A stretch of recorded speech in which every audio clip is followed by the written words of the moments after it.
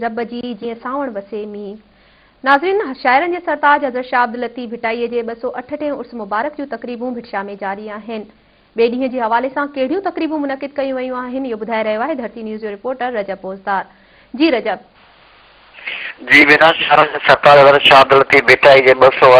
उर्स मुबारक जूं तकरीबूं अॼु ॾींहं नमूने सां ज़हरीन अक़ीदतमंदनि जो वॾे तादाद में दरगाह बिकाई से हाज़िरी जो सिलसिलो अॼु ॿिए ॾींहं ते जारी है अॼु ॿिए ॾींहं ते एक्सीलेंस रिक्शा में सुबह जो यारहें बजे बैन अवी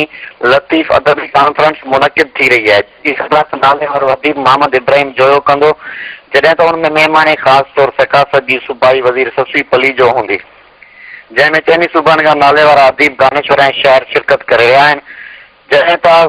हिन साल पहिरें दफ़ो भारत जा अदी पौणे अदबी कॉन्फ्रेंस में शिरकत लाइ पहुची रहिया आहिनि या त ॿिए पासे अॼु शाम जो चारि बजे मलाखड़ा ग्राउंड में मल पहलवाननि जो मुक़ाबिलो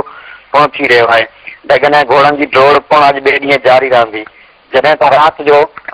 माल में राग रंग जी महफ़िल थींदी जंहिंमें